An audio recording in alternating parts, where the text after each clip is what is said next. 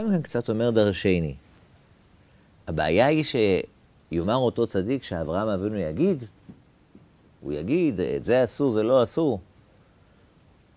הבטחה צריך לקיים. עוד לפני שמה אברהם יגיד. יש הבטחה. בורא עולם הבטיח לאברהם אבינו שיהיה א' ויהיה ב', יהיה שיעבוד ואחרי זה יהיה רכוש גדול. הבטחה צריך לקיים. לא בגלל שיאמר אותו צדיק. יש פה איזשהו משהו שהוא מודגש מאוד. באמת, כתוב שעם ישראל קיים את הבקשה הזאת. והשם נתן את חן העם בעיני מצרים, וישאלום וינצלו את מצרים. שאבו את מצרים. והגמרא ממש אה, גם כן דנה בזה. מה זה וינצלו? אמר רבי עמי מלמד שעשוה כמצודה שאין בה דגן. ריש לקיש אמר עשוה כמצולה שאין בה דגים. כל מיני דוגמאות, מה זה, עד, עד כמה רוקנו את מצרים, כמו מה? מה הנושא הזה כל כך? יש פה איזשהו נושא, נושא, מה הנושא פה? אז סביב זה נדבר היום.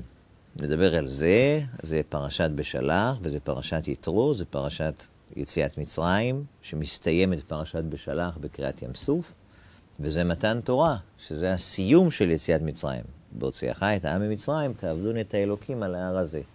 ותמיד כל זה יוצא סביב ט"ו בשבט. שבת שירה בדרך כלל יוצאת לפני ט"ו בשבט. אז ננסה לתפוס את כל הדברים האלה. בשיר השירים כתוב, תורי זהב נעשה לך עם נקודות הכסף. אומר המדרש, תורי זהב נעשה לך, זו ביזת הים. עם נקודות הכסף, זו ביזת, ביזת מצרים. היו שתי ביזות. ואחרי כן יצאו ברכוש גדול, זה מופיע בשני הקשרים. יש ביזת מצרים, וינצלו את מצרים, ואחרי זה, וירא ישראל את מצרים, מת על שפת הים, כתוב שהים פלט את הגופות של המצרים עם כל הרכוש שהמצרים הביאו איתם לים.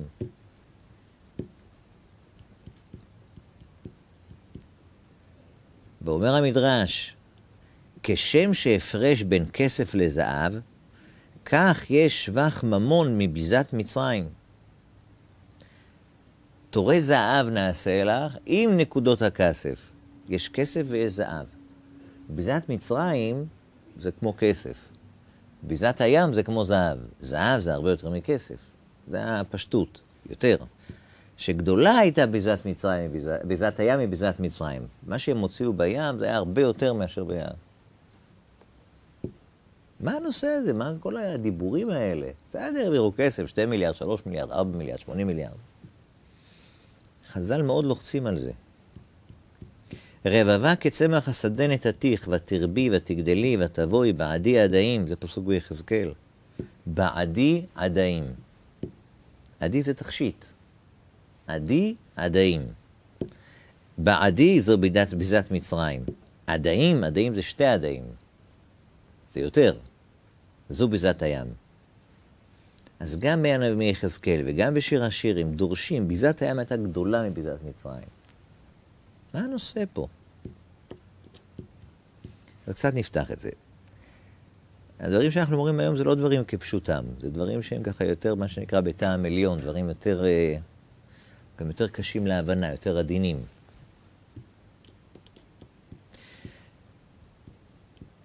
נתחיל עם ביזת מצרים. הגמרא אומרת, משנה, פרק הזהב בבא מציאה. הגמרא שם דנה, מחלוק המשנה, מה קונה את מה? האם הכסף קונה את הזהב או הזהב קונה את הכסף?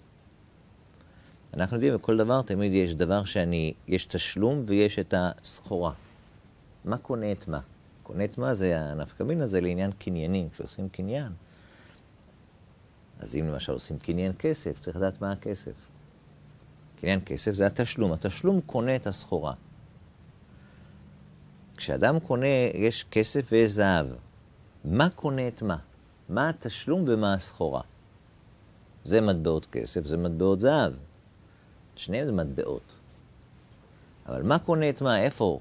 איפה עושים פה את הקניין? בכסף או בזהב? זה מחלוקת בית שמאי או בית הלל. ולהלכה בדבר הזה פוסקים כמו בית שמאי. בית שמאי אומרים שהכסף, כספא טיבה, דאה ופרא. מה הכוונה? הכסף זה המטבעות, והזהב זה בעצם הפירות, זה הסחורה. כסף וזהב. כסף זה התשלום, והזהב זה הסחורה. טוב. מה שבעצם כאן כתוב זה שכסף, כסף במובן שלו, המילה כסף זה מלשון כסיפה, לחשוף. נחשפה וגם קלטה נפשי. או כמו שלבן אומר ליעקב, ואתה הלוך הלכת כי, כי נחשוף נחשפת לבית אביך. אתה רוצה, אתה מתגעגע, אתה רוצה ללכת לראות את אבא שלך. טוב. כסף זה בעצם זה רצון. כשאדם יש לו כסף והוא עובד בשביל כסף, אז הוא לא עובד בשביל הכסף. עם הכסף הוא הולך לעשות משהו. הוא יקנה עם זה אוכל, הוא יקנה עם זה דירה. יש תמיד דבר שהוא בקצה, הוא רוצה. רק הדרך להגיע אל הדבר הזה, זה דרך הכסף. בעצם בכסף נמצא כל הרצון, כל שדה האפשר, כמעט שדה בלתי, בלתי מוגבל של אפשרויות. עם כסף אפשר לקנות הכל. כסף זה בעצם אפשרויות. הרצון רוצה המון דברים. יש בסופו של דבר את המטרה. הכסף זה התשלום. הכסף הוא לא מטרה, הכסף הוא אמצעי. כדי להגיע לדבר. כסף מלשון כיסופים. זהב, המילה זהב זה מלשון זהב, ככה אומרים. את זה אני רוצה, את זה תביא לי. הזהב תמיד הוא מטרה. אדם שקונה זהב, הוא לא קונה זהב בשביל למכור אותו. הוא קונה זהב מכיוון שהזהב, יש לו זהב, הוא רוצה זהב. כסף, אדם לא אוגר כסף כדי שיהיה לו כסף. הוא רוצה עם הכסף לעשות משהו.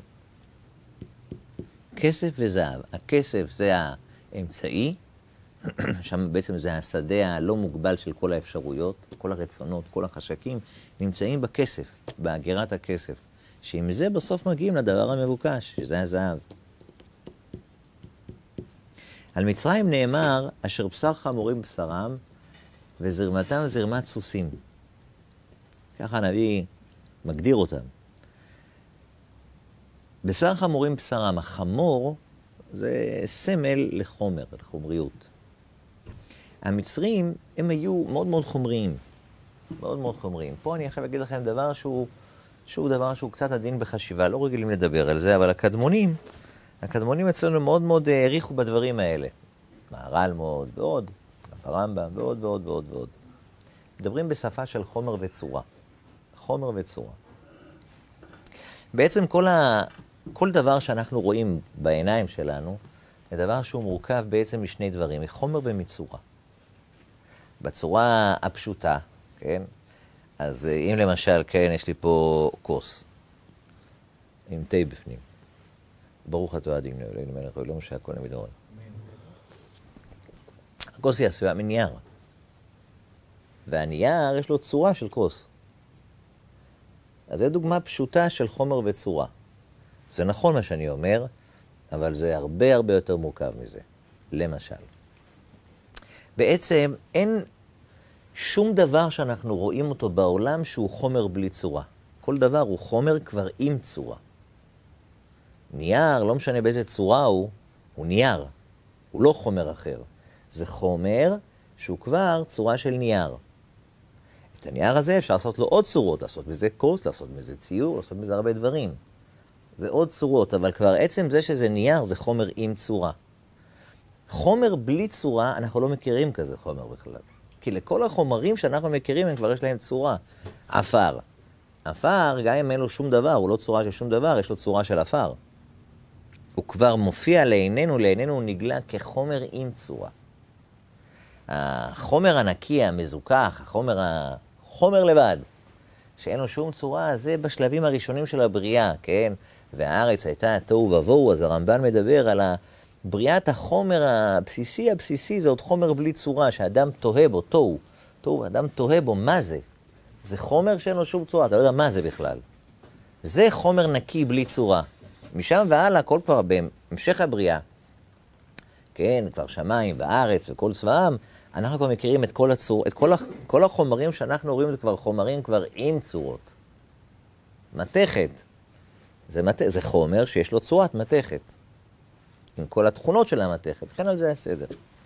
אבל זה מושגים של חומר וצורה, חומר וצורה.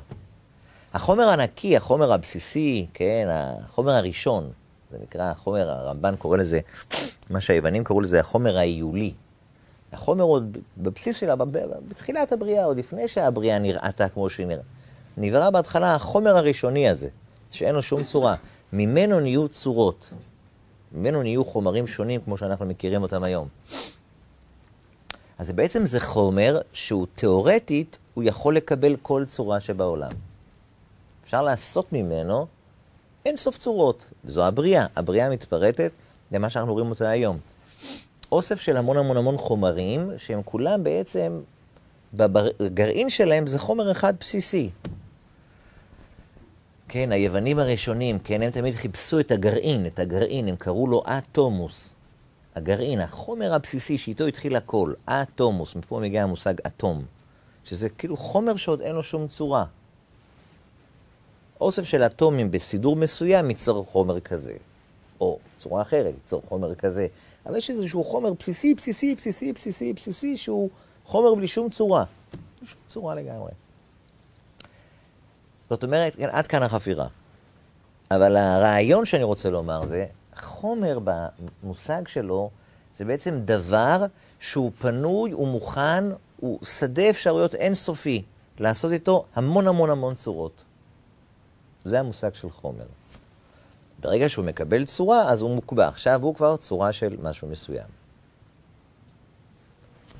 מצרים, אשר בשר חמורים בשרם, הם חומריים. הם לא חיפשו אף פעם לקחת חומר ולעשות ממנו צורה, לקחת את הבריאה ולעשות איתה משהו. אלא הם תמיד, הם הסתכלו תמיד על הבריאה כחומר. כל דבר שהם ראו מול העיניים שלהם, הם נתנו לזה צורה, שימוש מסוים, השתמשו בזה, שאבו את זה, נהנו מזה, גמרו, פשטו צורה ולבשו צורה אחרת. עוד הפעם, חזרו בחזרה אל החומר, ועשו עם זה עוד משהו. זאת אומרת, הם אף פעם לא לקחו את הבריאה כדי לקחת אותה לאנשהו, אלא ההפך, הם שקעו בתוך הבריאה עצמה. עוד משהו ועוד משהו, אבל הצורה מגבילה. תמיד היא מגבילה אותך, אז אתה יכול רק את זה או רק את זה. אז הם שינו. עוד דבר, חזרו לחומר ועשו עם זה עוד פעם משהו. חזרו לחומר, המטרה אצלם תמיד הייתה בחומר, זה חומריות, שקיעה בחומר. לא לקחו את כל מה שיש פה למשהו. ההפך, שקעו במשהו הזה. זה לא סתם שויעבידו את ישראל בחומר ובלבנים, בחומר. השעבוד של עם ישראל היה בחומר. חז"ל אומרים שעם ישראל בנו את פתאום ואת רעמסס, וחז"ל אומרים שני פשטים, מה זה פתאום ורעמסס? שני הפשטים זה שזה אותו מקום, זה לא שתי מקומות, פתאום ורעמסס, פתאום זה רעמסס ורעמסס זה פתאום. רק לאחד, רק אחד זה שם ואחד זה כינוי. יש אחד שאומר פתאום שמע, למקום הזה קראו פתאום. כינו אותו רעמסס. למה? שכל מה שהיו בונים היה מתרוסס, היה נופל, מתרסק. האדמה לא הייתה יציבה שם, היו בונים וזה היה נופל, היו בונים והיה נופל. אחד אומר, לא, רעמסס שמה. ולמה קראו לה פתאום? כי זה היה על פי תהום. הרצפה שם, האדמה לא הייתה שוב יציבה. כל מה שהיו בונים היה מתרסק. אז זה או פתאום או רמסס. שם וכינוי. אבל שניהם מכוונים בעצם לאותו עניין.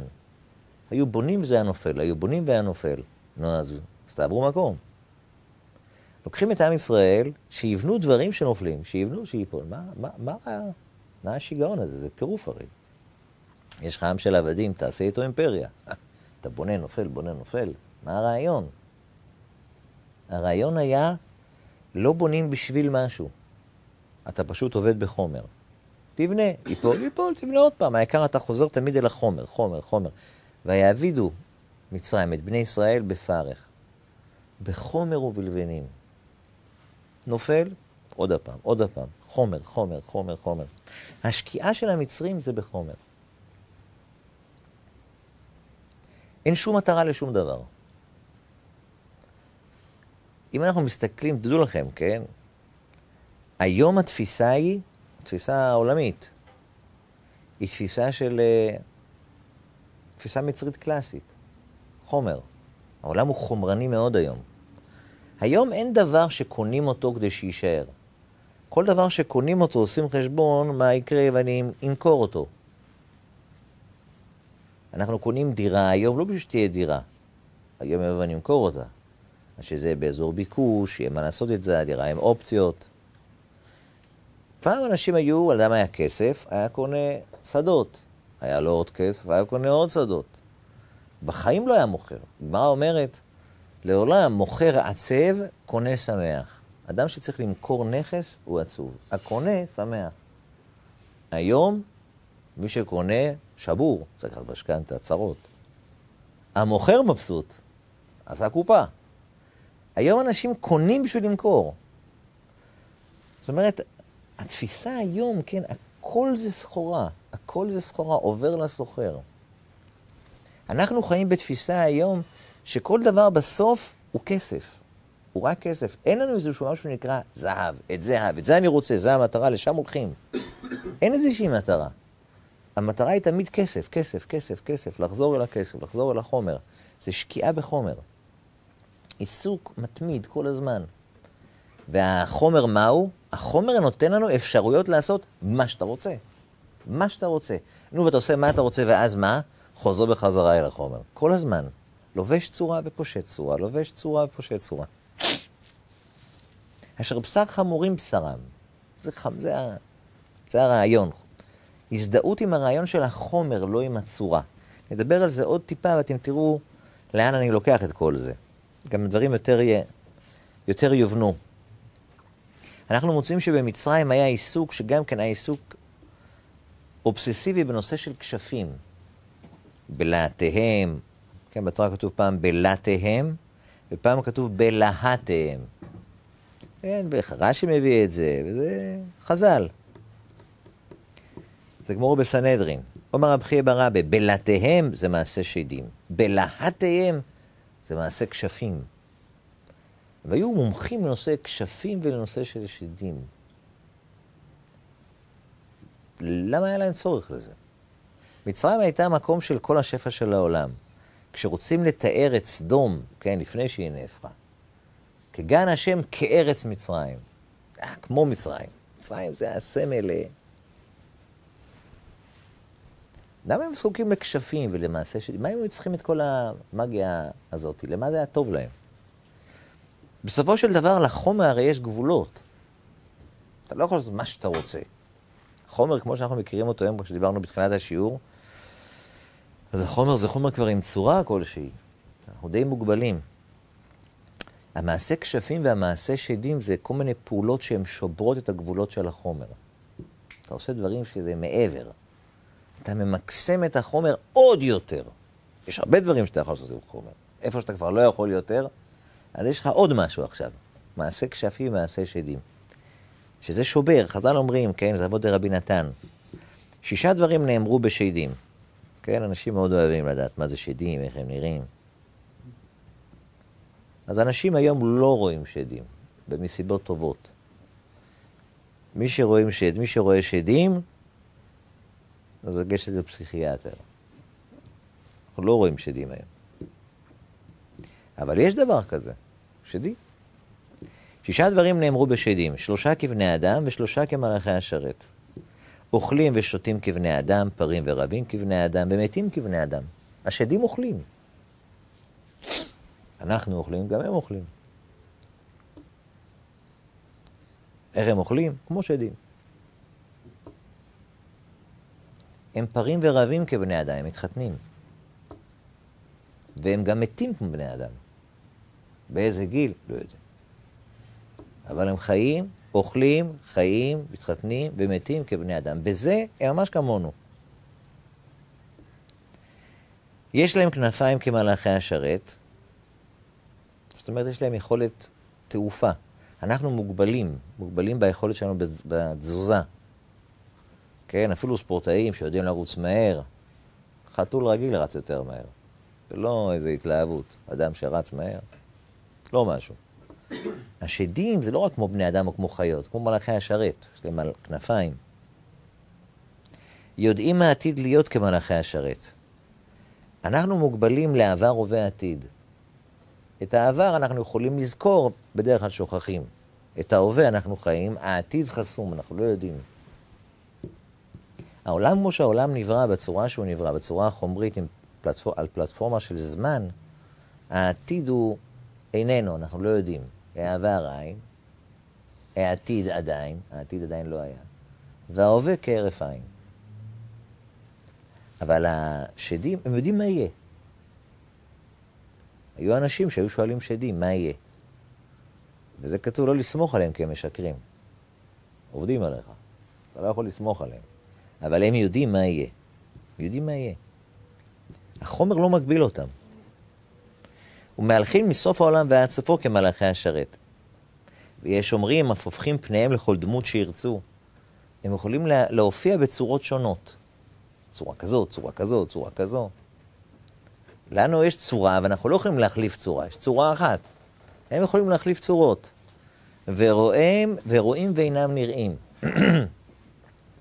הם נמצאים, הם קיימים, הם רואים, אבל הם, הם אינם נראים. החומר שלהם כמו שקוף, בעין שלנו היא לא נתפס.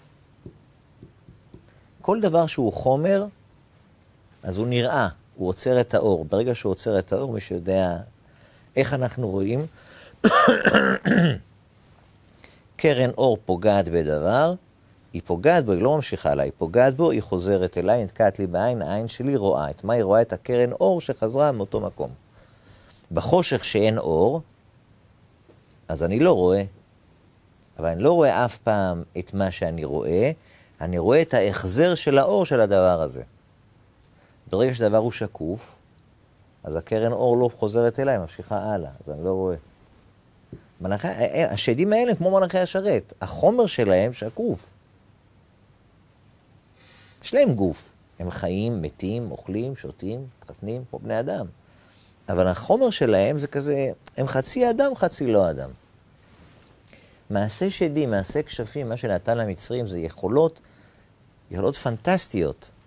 להיות בעולם הזה בחומר, אבל על ידי מעשה שדים ומעשה כשפים, לשבור את הגבולות של החומר. אבל הכל היה, המטרה הייתה החומר. זה עד כדי כך הם התגאו בזה, כן, ראינו את החז"ל הזה שיוחנן וממרא, הם היו שני החרטומים של פרעה הגדולים. אז הם אמרו למשה ואהרון, מה אתם מביאים לנו כשפים? אתם מביאים לנו... הקדוש ברוך הוא אמר למשה, לך תעשה לפרעה מופת, ש... שיש אלוקים. אז הוא אמר להם, הם אמרו להם, תבן אתה מכניס לעופריים? פה טבע הארץ, אנחנו פה אימפריה של כשפים, תביא לנו עוד קוסמיות, מה אתה עושה מה, מה הוספת? מצרים זה היה מקום, טבע הארץ היה כזה. משהו נפלא מאוד. אבל הכל היה מכוון מטרה. מה המכוונה הייתה? חומר, חומר, חומר, חומר. הכל היה בחומר.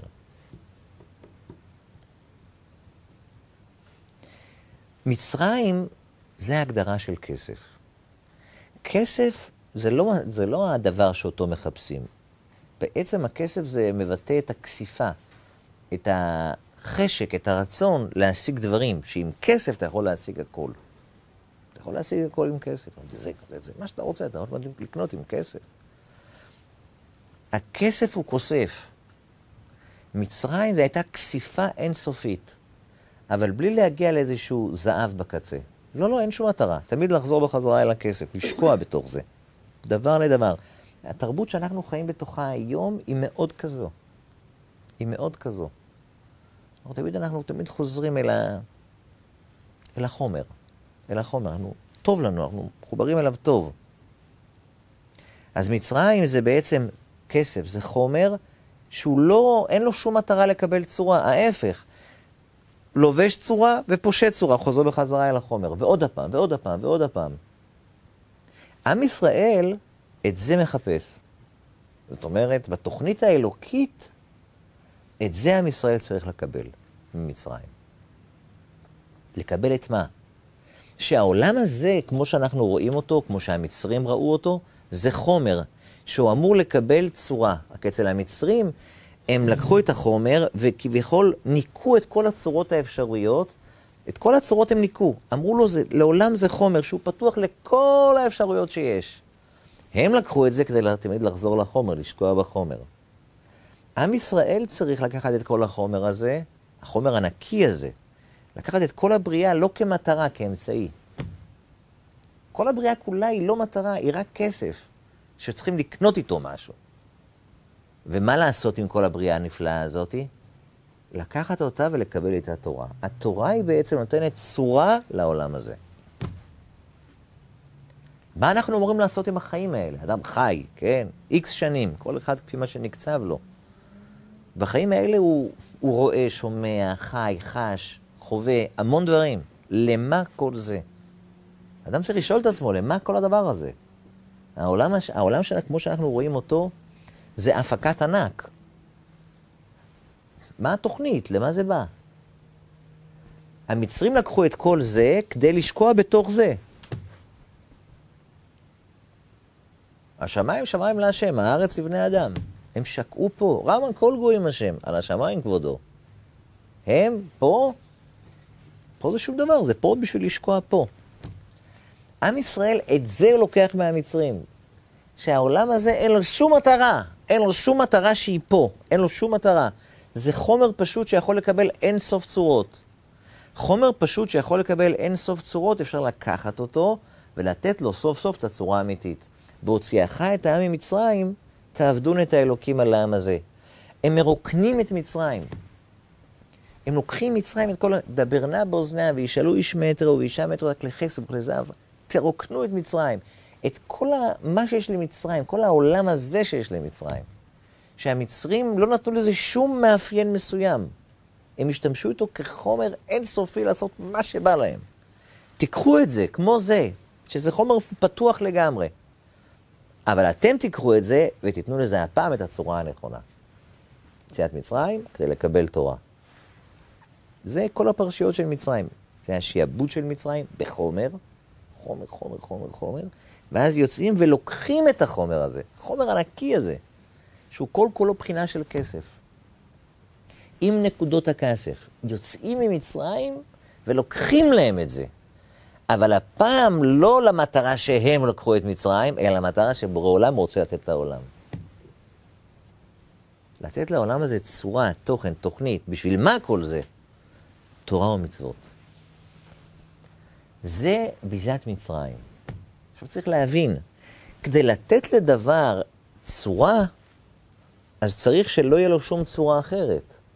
ברגע שיש לו איזושהי צורה, הוא כבר תפוס. אי אפשר לעשות עם זה משהו אחר. זה חומר שיש לו כבר משהו מסוים, הוא כבר מעוצב בצורה מסוימת. כדי לקחת חומר ולתת לו צורה, צריך שהוא יהיה נקי, פתוח בלי שום צורה, פנוי. פנוי לעיצוב.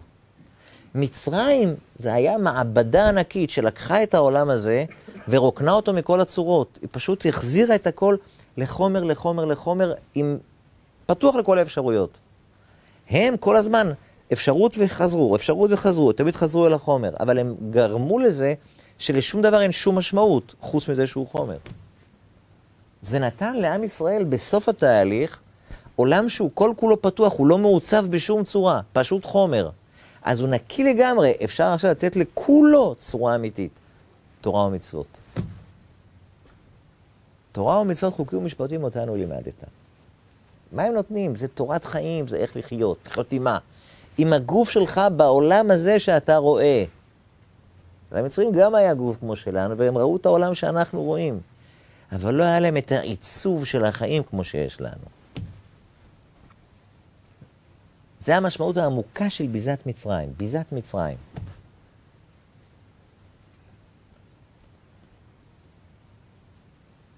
זה תורי זהב נעשה לך עם נקודות הכסף. נקודות הכסף, אומרים חז"ל, כסף, כסף. כסף זו ביזת מצרים. זהב זה ביזת הים. מה זה ביזת הים? נקודות הכסף הסברנו. זה מאוד עמוק. זה מאוד עדין. כן, מי שהיה מההתחלה אולי יכול להבין את זה. מי שתפס את כל הפרטים. מה זה ביזת הים? ביזת הים זה זהב. ויוגד למלך מצרים כי ברח העם. ויהפך, לבב פרעה ועבדיו אל העם, ויאמרו מה זאת עשינו, כי שילחנו את ישראל מעובדינו. אמרו למלך מצרים, תשמע, אמרו שיוצאים לשלוש ימים וחוזרים. לא חוזרים, ברחו. ויהפך לבב פרעה, תהפך. ויאסור את רכבו ואת עמו לקח עמו. ויקח שש מאות רכב בחור, וכל רכב מצרים, ושלישים על כולו. מופיע בספרים של הפנימיות, שהפסוק הזה בעצם יש כאן עשר. שש מאות רכב, שש, המספר שש מופיע, ועוד רכב מצרים, ושלישים, שלישים זה שלוש. שלוש, אחד ושש זה עשר. כשאנחנו שומעים את המילה עשר אצל המקובלים, זה ישר מדבר עשר ספירות, קומה שלמה. ויהפך לבב פרעה, הוא התהפך, היה לנו פרעה אחד, המוכר, מה שבפרשיות של שמות וערה בו, דיברנו עליו. פתאום עכשיו ויהפך לבב פרעה, הוא נהפך, נהפך לגמרי. עכשיו מקבלים פרעה זן חדש, משהו חדש. עשר ספירות, קומה שלמה חדשה, משהו חדש. ככה כשלומדים תורה קצת בטעם עליון, משהו קצת יותר uh, עדין, יותר פנימי יותר. בזוהר הקדוש כתוב שפרעה רדף אחרי בני ישראל עם הכלים של עשיו. שמעתם? הכלים של עשיו. איזה כלים בדיוק יש לעשיו? מה זה הדבר הזה? במצרים, כן, במכת בכורות, ככה כתוב. והיה כאן פרעה לילה, הוא וכל עבדיו, באו לעם ישראל. תהי צעקה גדולה בכל ארץ מצרים. פאניקה, מכת בכורות, כולם מתים, אין בית אשר אין שם מת. ויקרא למשה ולאהרון, ויאמר קומו צאו מתוך עמי, יאללה, תעופו. גם את הצאן, גם את הבקר, את הטף, כולם, מה שרציתם, רק תלכו, רק תלכו. זה קרה מכת בכורות. כשיגד למלך מצרים כי ברח העם, זה כמה ימים אחר כך. אחרי שלוש ימים באו והודיעו לו, מיד הוא רדף. לפני כמה ימים אמרת להם, תצאו, תצאו, תצאו, נכנעת לגמרי, פתאום אתה רודף אחריהם. איפה אתה? זה אפילו לא זיכרון לטווח קצר. מה קורה פה? ויהפך לבב פרעה. זה לא אותו פרעה ההוא, יש פרעה ההוא, זה משהו אחד. ויהפך לבב פרעה. עכשיו יש פר, כמו פרעה חדש, משהו חדש. בחינה חדשה שרודפת אחרי בני ישראל. את הבחינה הקודמת של פרעה, שברו אותו, ריסקו אותו, פירקו אותו, וביזת מצרים. ולקחו את כל מה שאפשר לקחת מזה, ולעשות עם זה משהו חדש. מה זה המשהו החדש? זה מתן תורה. אנוכי השם אלוקיך אשר הוצאתיך מארץ מצרים. הוצאתי אותך עם כל מה שיש במצרים לקחת, תיקח לפה, ואנוכי השם אלוקיך. צורה לחומר. מה זה הדבר הזה שפרעה רודף אחרי בני ישראל? אנחנו הבאנו את הרמב"ן, הרמב"ן אומר, איך קורה דבר כזה שפרעה והמצרים נכנסים לתוך הים? קריעת ים סוף, הים נבקע לשניים. אתם יודעים, משקל סגולי של מים זה ליטר זה קילו. קוב זה אלף, אלף ליטר, זה אלף קילו. אם לוקחים קוב של מים, כן, ארגז, כן, שקית עם אלף קוב, זורקים אותה על בן אדם, מועך, מועך אותו, טון. אפשר לדמיין קירות של מים, משקל אדיר. עכשיו, מי ים זה מים עם מלח. זה משקל סגוליות יותר כבד. מים כבדים. הייתם פעם בים המלח, זה מים עם הרבה מלח. הם כל כך כבדים שהאדם צף. לא מצליח לשקוע. אפשר לטבוע בים המלח. בים רגיל אדם יכול לטבוע, אבל המים של ים המלח הם מאוד כבדים. יותר מה, מהמשקל הסגולי של הגוף, אז הגוף נשאר צף. זה וואחד משקל. קירות של מים נכנסים באמצע, אתה לא מפחד שזה ייפול? זה יכול ליפול עליך. זה מסוכן. זה קירות של מים. מים עומדים. ניצבו כמו, כמו נוזלים. עומד, מים עומדים. מי עומד לדבר כזה? זה ייפול את הגומר. גם מי שיודע לשחות. אומר הרמב"ן, אין בכל המופתים שהיה במצרים כמופת הזה, כי זה שיגעון היה. זה טירוף מוחלט שהמצרים נכנסו לתוך הים. טירוף. מה, מה נדמה לכם? שהים נבקע בשבילכם? הים נבקע ועם ישראל עוברים ביבשה בתוך הים. הם עוברים בחרבה, עוברים יבש. בוגרי עשרת המכות יודעים שהיהודים, לא יודע, זה משהו, משה הזה מה שהפך את מצרים. אז עוד משהו. אבל מה המצרים חשבו? שזה ההפקה הזאת של ים נקרא לשניהם זה בשבילם שהם ייכנסו וזה יחכה להם עד שהם יעברו? זה ייפול עליכם, מה, מה, מה הם חשבו? אומר הרמב"ן, אין בכל מופתי מצרים כמופת הזה. זה היה הנס הגדול של יציאת מצרים. וזה פסוקים, וחיזקתי את לב פרעה ורדף אחריהם, וחיזקתי את מצרים, וייכנסו בזה. יש פסוקים שהשם חיזק את ליבם. אז זה נכון, זה היה מופת והשם חיזק את ליבם. זה היה נס, שזה קרה דבר כזה, שהם נכנסו ברצונם לתוך הים. טוב, עד כאן זה מה שכתוב בתורה, שהיה פה ניסים. אבל אנחנו לא פטורים מזה ולחשוב, רגע, אבל המצרי הסביר, פרעה, היה אדם חכם, לא אידיוט. כשהוא נכנס לתוך הים, הוא ראה ים נבקע לשניים. הם בטח התפלאו, וואו, איזה דבר זה, אין דברים כאלה. זה לא היה מאז, לא היה, גם לא יהיה יותר. הוא ראה את זה. אז השם חיזק את ליבו, אבל היה צריך להיות איזשהו רציונל. הוא לא נכנס כמו איזה אבא לתוך המים, הוא לא משוגע. הוא חשב משהו כשהוא נכנס לתוך הים. הוא חשב על משהו. מה היה הרציונל שלהם? היה פה איזשהו רעיון, הם חשבו על משהו כשהם נכנסו לתוך הדבר הזה. זה נכון שאת המחשבה הזאת, בורא עולם חיזק אותה אצלהם. זה היה נס. אבל הם חשבו משהו. הם לא נכנסו כמו רובוט, לחצו על כפתור והם נכנסו אטומים כאלה. זה לא ככה. הם חשבו משהו, והם נכנסו לתוך הים. בנביא כתוב על המצרים פסוק כזה, זה ביחזקאל. הנני עליך פרעה מלך מצרים, התנים הגדול, הרובץ בתוך יאוריו. אשר אמר, לי יאורי ואני עשיתיני. היאור שלי ואני עשיתיני. עשיתיני זה אני עשיתי את עצמי. המשפט אני עשיתי את עצמי זה משפט דבילי. הוא אומר, אני עשיתי את עצמי. רגע, רגע. אבל לפני שהוא עשה את עצמו הוא עוד לא היה. אז מי עשה אותו? כדי לעשות אותו הוא היה צריך כבר להיות לפני כן. אבל הוא עוד לא היה, כי הרי הוא עוד לא נהיה. זה משפט שהוא מבטל את עצמו. אני עשיתי ני. חוץ מזה, אנחנו מוצאים שיוסף אומר לשר האופים ושר המשקים בעוד שלוש ימים, יום הולדת את פרעה, שיום הולדת לפרעה.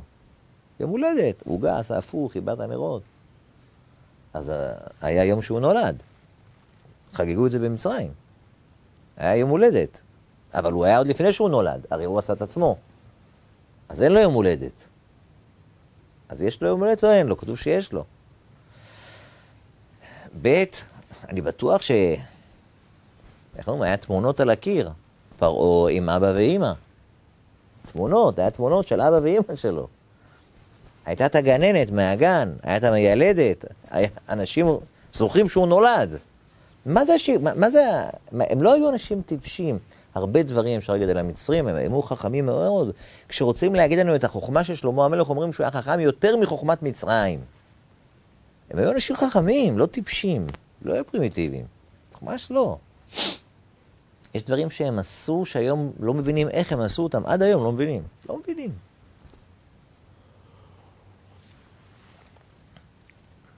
לא מבינים. לא מצליחים להבין איך הם עשו את זה. פלאי פלאות, דברים שהם בנו,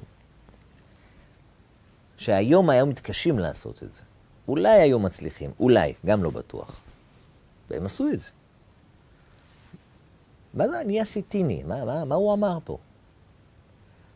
אז פרעה ידע, יש לו יום הולדת, והוא ידע שיש לו אבא ואימא, והוא ידע שהיום, היו ימים שהוא לא היה.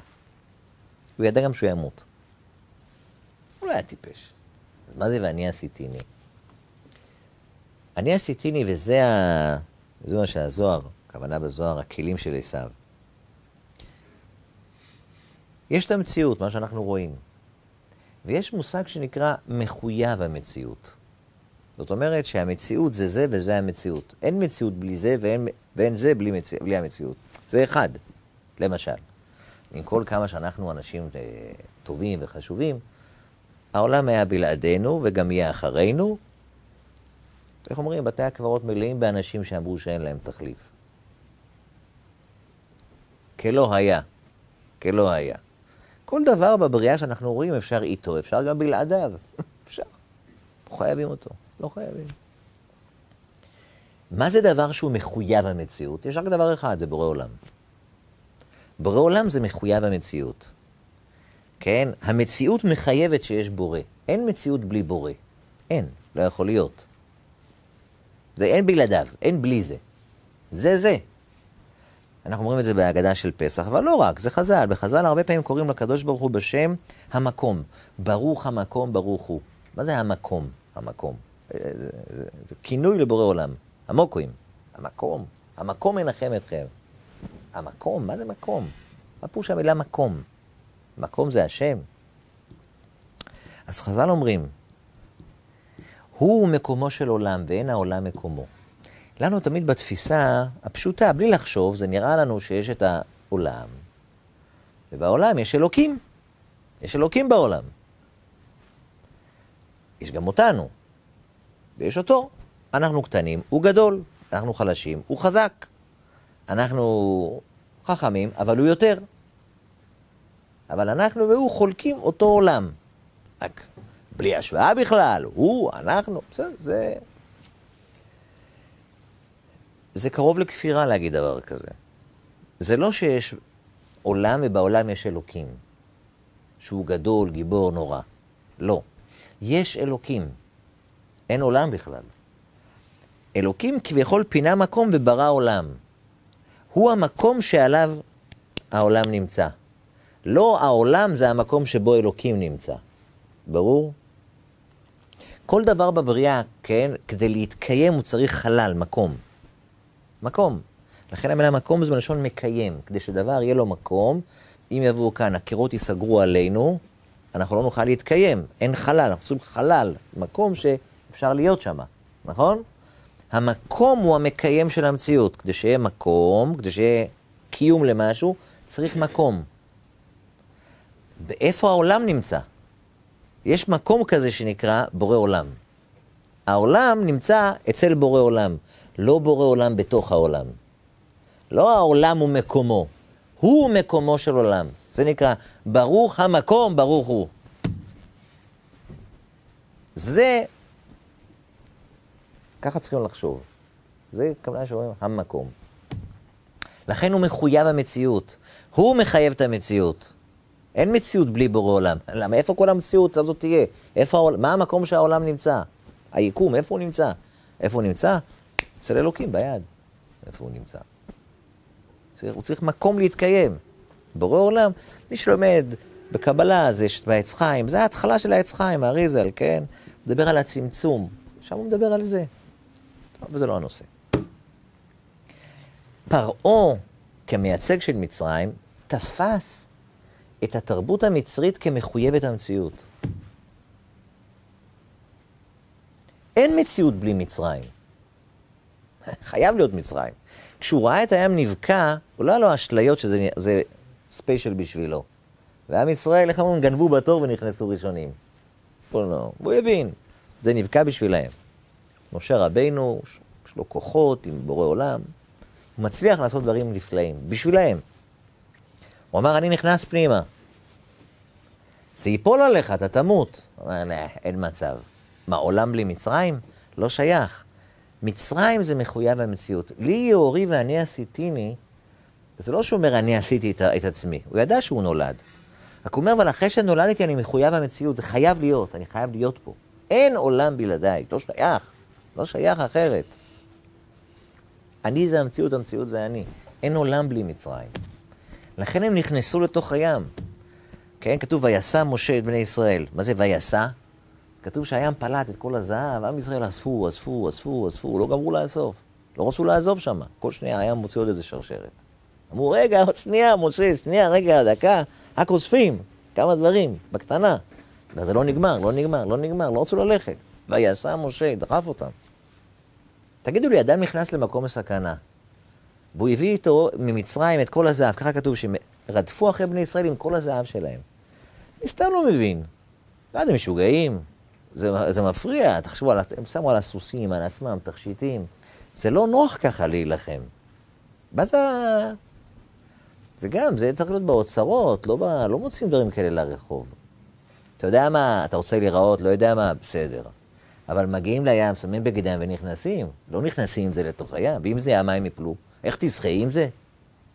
אתה תציל את עצמך, זה ישקע בים. אתה לא מפחד? הם לא פחדו. בראש שלהם אין מצב שהם יטבעו. הם יחטפו, הם יכולים לקבל מכות, זה כן, הכל כן. מכות, זה הכל. לאבד, לאבד זה לא יכול להיות. זה הכלים של עשיו. זה הפרשה של המן. לא מן, כן? המן. הומון, המן של מגילת אסתר, המולק. עמלק הוא מרגיש שהוא מחויב המציאות. הוא שולל מציאות של בורא. כי יד על כעסקה, זה לא סתם שעמלק מגיע פה בפרשה. כי יד על כעסקה, מלחמה להשם בעמלק מדור דור, כי אין הכיסא שלם, הוא חוצה את שם הוויה. את היוד קיי מהוו קיי, הוא חוצה אותה, עמלק. זה לא יכול להיות. הוא, הוא אומר, אני מחויב המציאות. אין, המציאות זה אני, איסוב. כן, מה שמייצג היום בצורה הכי מוחצנת את, את אייסוב זה ארצות הברית. אבל לא רק ארצות הברית, כל העולם הנוצרי. העולם הנוצרי רואים את זה היום, זה לא משנה מה הם חושבים, אבל הם בטוחים שזו האמת, אבל, ואין בלתה. הם יאירו את האור לכל העולם, הם יסבירו לכולם איך צריך להתנהג.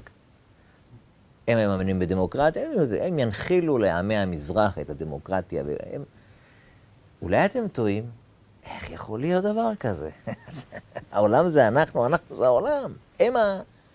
זה, זה, זה לא גאווה, זה הרבה מעבר לזה. הם מרגישים שהם מחויב המציאות. זה המציאות, זה המציאות, זה המציאות.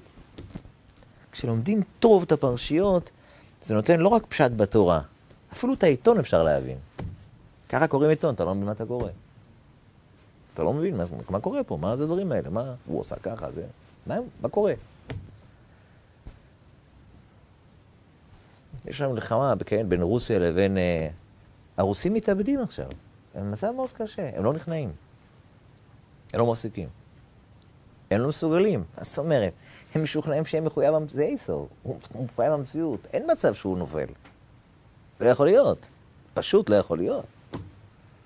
אז הוא אומר, סבלנות, ימותו, ימותו, כמה שימותו, בסוף אבל אנחנו נהיה. אין בלי. לא יכול להיות בלי.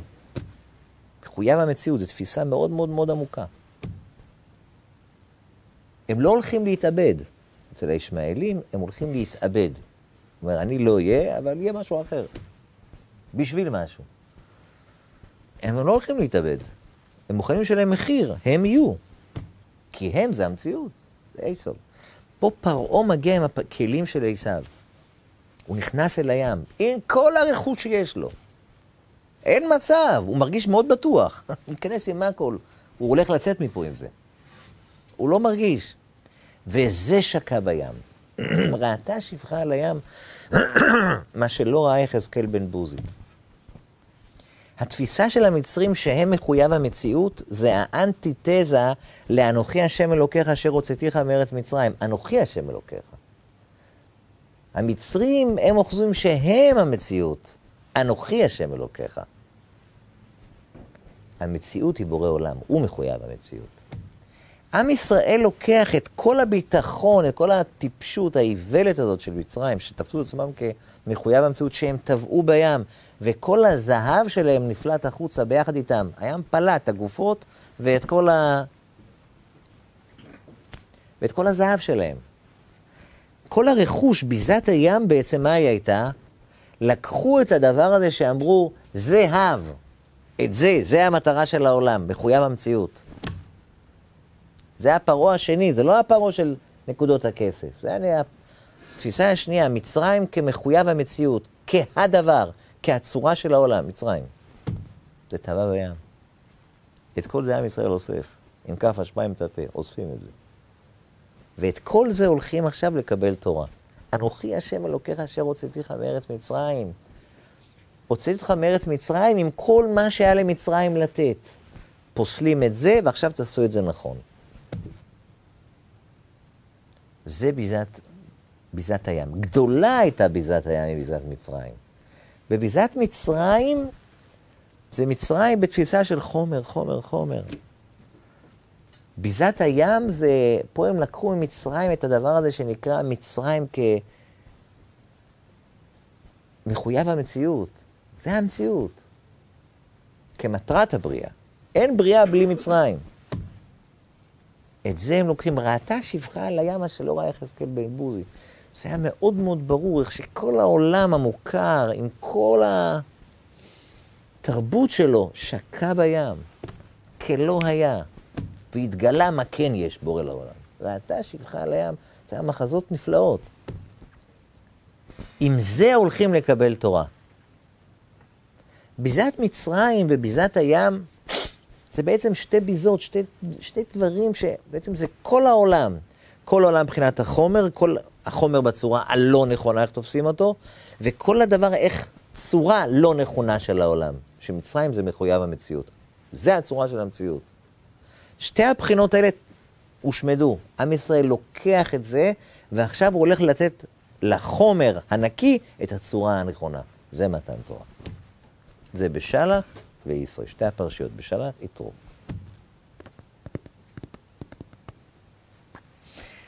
אמר חזקיה, מהי דכתיב משמיים משמעת הדין? ארץ יראה ושקעת. יש כזה פסוק בתהילים. ארץ יראה ושקעת, הארץ היא יראה. יראה, כשאדם ירא, הוא רועד, הוא, הוא לא רגוע. שקטה, רגועה. אם יראה, אז למה שקטה? ואם שקטה, למה יראה? ככה שואל חזקי. אני לא מבין. מה זה יראה ושקטה? אי אפשר להיות, זה סותר את עצמו. אלא בתחילה יראה ולבסוף שקטה. בהתחלה הארץ הייתה יראה מאוד, ובסוף היא נרגעה. ולמה יראה בהתחלה? למה היא פחדה? למה הארץ פחדה? ממה היא פחדה? קרש לוקיש, שאמר יש לקיש, מהו שכתוב ויהי ערב ויהי בוקר יום השישי, ה' יתרה למה לי? מה זה יום השישי? כן, מי שלא זוכר את זה מהפסוקים, יזכור את זה מהקידוש. יום השישי, ויחולו השמיים. יום השישי זה סוף פסוק, ויחולו השמיים זה מתחיל שבת. ויהי ערב ויהי בוקר יום השישי, זה הסיום של היום השישי, יום השישי. ביום הראשון כתוב ויהי ויהי בוקר יום אחד, לא יום ראשון, יום אחד. ביום השני כתוב ויהי ויהי בוקר יום שני, בלי הידיעה, לא יום השני, יום האחד. צריך לשים לב, יש אחד, אחרי זה שני, שלישי, רביעי, חמישי, שישי. היה צריך להיות ראשון, שני, שלישי, או אחד, שתיים, שלוש, ארבע. לא ככה. יום ראשון זה אחד, יום אחר כך זה שני, שלישי, רביעי, חמישי, ולא שישי, אלא השישי. יום השישי, והערב, והבוקר, יום השישי. מה זה ה'? הה' הזאת מיותרת, ככה שאלה, מה זה ה'? ה' יתרה למה לי? ככה שאל ריש לקיש. מלמד שהתנה הקדוש ברוך הוא עם מעשה בראשית ואמר להם, אם ישראל מקבלים את התורה, אתם מתקיימים. ביום השישי, כש"ויחולו השמיים והארץ וכל צבעם", אז הכל היה מוכן, זהו, אפשר להירגע. לא, הארץ יראה. כי הקדוש ברוך הוא אמר להם, אתם הכל נראה מושלם, אבל זה שום דבר לא קיים, בתנאי שיקבלו תורה. עד שלא מקבלים תורה, אתם על תנאי. אם לא יקבלו, הכל חוזר לתוהו ובוהו. ואם לאו, אני מחזיר אתכם לתוהו ובוהו. זאת אומרת שהבריאה, עד שמקבלים תורה, היא רעועה. זה חומר, אבל בלי צורה. העולם הזה נברא למטרה אחת, שמקבלים תורה שנותנת צורה לחיים של הבריאה הזאת. אין חיים בלי זה. אין חיים בלי זה. ארץ יראה ושקעת. כשעם ישראל קיבלו תורה, עכשיו נרגעה הבריאה. יום השישי, השישי זה, שישי זה ו', ו' בסיוון. יום מתן תורה. ביום השישי, אז ויחולו השמיים והארץ. עד אז, הבריאה הייתה לקרעי תרנגולת. המצרים לא חשבו ככה. זה טבע בים. מצרים שיקפה בעצם את כל השקר שהיה בעולם עד מתן תורה. כל זה טבע בים. ועכשיו את כל זה לוקחים, ועכשיו עושים את זה, אבל נכון. זה מתן תורה.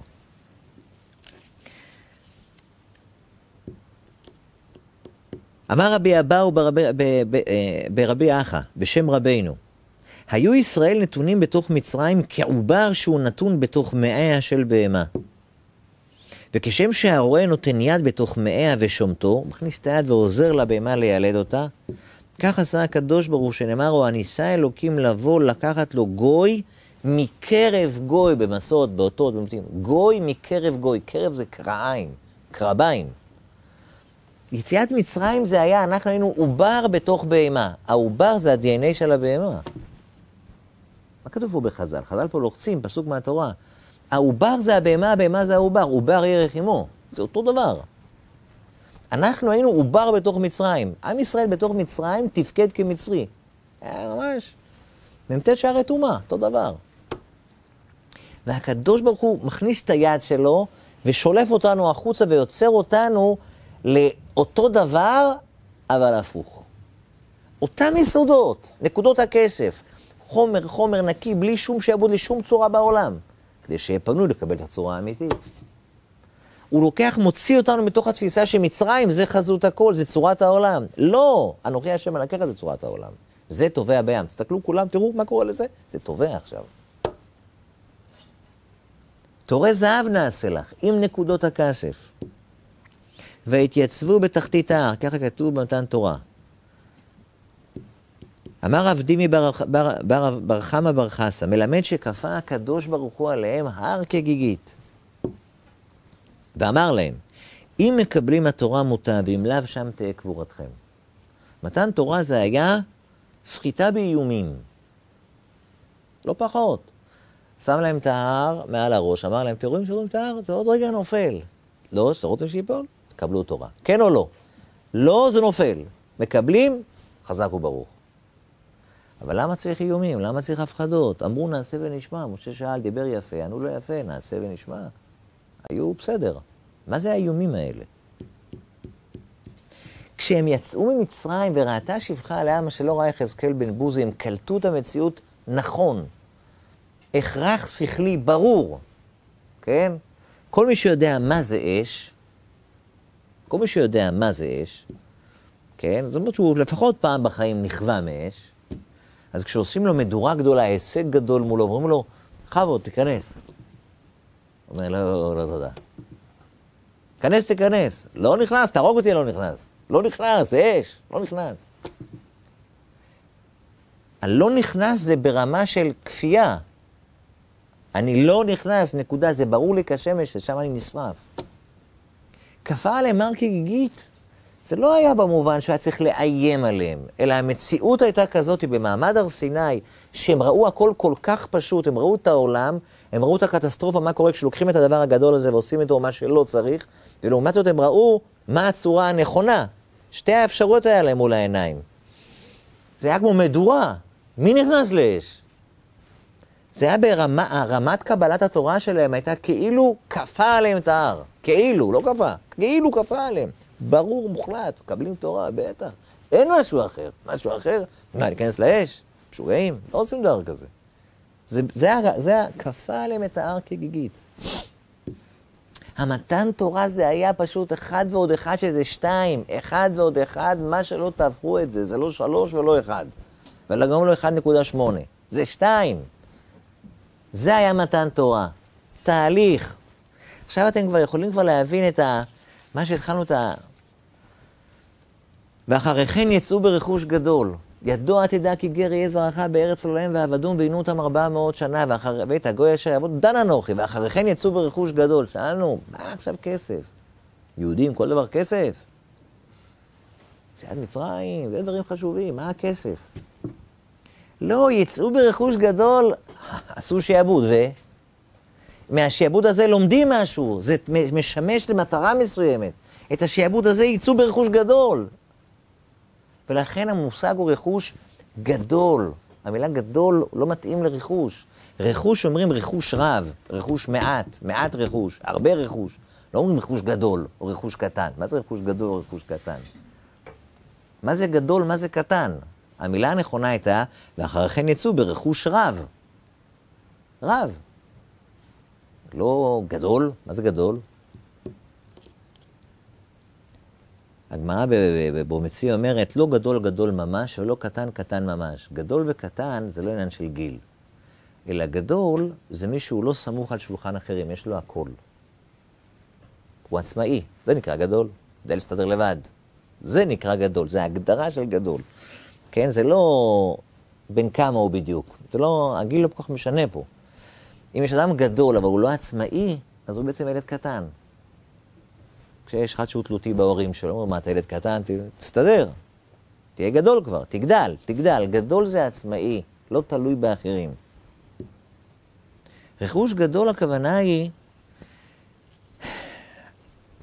חז"ל אומרים, כן, דעה חסרת, אביי, עומר אביי, נקטינן, ככה אנחנו אורזים, אין אני אלא בדעת. אדם שאין לו, זה אדם שאין לו שכל. דעת. בארץ ישראל האמרי, במערב האמרי, דדבה כולה בי. מי שיש לו דעת, יש לו הכל. מי שאין לו דעת, אין לו כלום. כשקיבלו תורה, מה בעצם הם קיבלו? ממצרים, יציא, בהוציאך את העם ממצרים, תעבדון את האלוקים על ההר הזה. כדי להגיע למתן תורה חייבים לקחת את מצרים, לצאת מתוך מצרים. ואז מה מקבלים? דעת. זה הדעת, התורה. ההסתכלות הנכונה על החיים. דעת חסרת מה קיים? דדה בכולה בי. דדה לא בי, מי שאין לו את זה, מה בי? מה יש לו? אין לו כלום. אין לו כלום. כלום. רכוש גדול הם יצאו. הם יצאו עכשיו גדולים. גדול, עכשיו יש להם הכל. גדול זה מי שיש לו דעת. איך, ילד בר מצווה, ילדה בר מצווה, איך הם נקראים? בר דעת. יש לו דעת. זה הוא עצמאי. רכוש גדול, לא רכוש רב, לא מדובר פה כמה כסף יצאו. לא ספרו שם אה, כמה מטבעות היה להם. זה לא הנושא. הרכוש הגדול זה, הכוונה היא, תורי זהב עם נקודות הכסף, כן? זה תורה, התורה לא מספרת סיפורים אגדות. יש פה תוכן. כי טוב שכרה מסחר כסף ומחרוץ תבואתה. התורה היא יותר טובה מכסף ומזהב. זה יותר טוב מכל החלל הגדול של האפשרויות, אל הכסף של החומר, או מכל מה שלעולם הזה מתאר כמטרות, כזהב. זה יותר מזה. כי טוב שכרה מסחר כסף ומחרוץ, חרוץ זה זהב, ומחרוץ תבואתה. אז עד עכשיו ביארנו מה זה ביזת מצרים וביזת הים. עם זה הולכים לקבל תורה. עכשיו קצת נדבר על ט"ו בשבט ונחבר את זה. המשנה אומרת באחד בשבט ראש השנה לאילן, כדברי בית שמאי. בית הלל אומרים בחמישה עשר בו. ט"ו בשבט. נכון, עכשיו זה ט"ו בשבט, לא?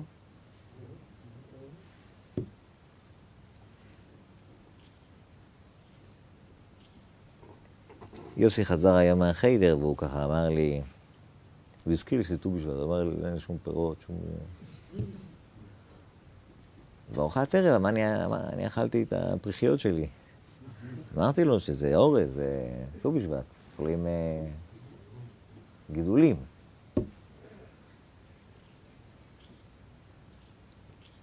ט"ו בשבט.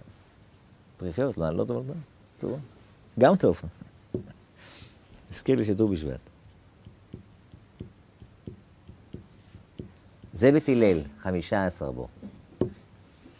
בית שמאי אומרים זה באלף בשבט. אבל זה מוזר, כי כתוב לא דברי בית שמאי, כתוב כדברי בית שמאי. באחד בשבט ראש השנה לאילנות כדברי בית שמאי. מה זה כדברי? תמיד זה דברי בית שמאי. אחרי זה דברי בית הלל. בית הלל אומרים. מה זה כדברי? מוזר כזה.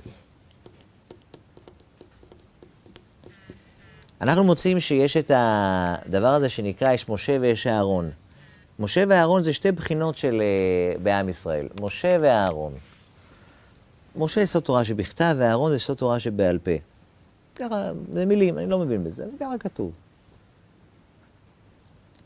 כן, כתוב, ואהרון אחיך יהיה נביאיך. מה זה נביאיך? נביא זה מלשון ניב שפתיים. בורא עולם רוצה להגיד משהו, הנביא זה כמו הפה של בורא עולם, הוא מספר. הוא מבאר מה בורא עולם רוצה, זה הנביא. ואהרון, אחיך יהיה נביאך, הוא יבאר. התורה שבכתב היא, היא סתומה, קשה להבין אותה. תורי זהב נעשה לך עם נקודות הכסף. ייתנו לי מיליון שנה לחיות, אני בכם להבין את מה שהשיעור הזה רצה להגיד. בלי שהתורה מגלה לי מה זה אומר המילים האלה של שלמה המלך, נקודות, תורי זהב עם נקודות הכסף. תהיה חושב. אנחנו לא יודעים, תורה שבכתב היא סתומה, צריך תורה שבעל פה שתבאר את זה, שתבאר, תבאר. אהרון אחיך יהיה נביאיך. על אהרון כתוב, אוהב שלום ורודף שלום. אהרון... הלל, הלל אומר, הווה מתלמידיו של אהרון, אוהב שלום ורודף שלום. אהרון והלל זה אותו, אותו קו. משה רבנו ובית שמאי זה אותו קו. הגמרא אומרת שבית שמאי היו חריפים יותר מבית הלל. הלכה כבית הלל מסיבות, אבל היו חריפים יותר. זה לא הכוונה היא, כן, לא לטעות שאין הלכה כמשה רבנו, כהלכה כבית הלל ולא כבית שמאי. לא, זה לא הלכה פה.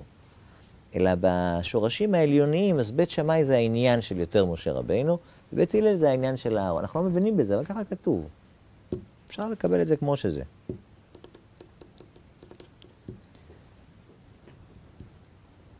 ודיברו לך אל העם, והיה הוא יהיה לך לפה.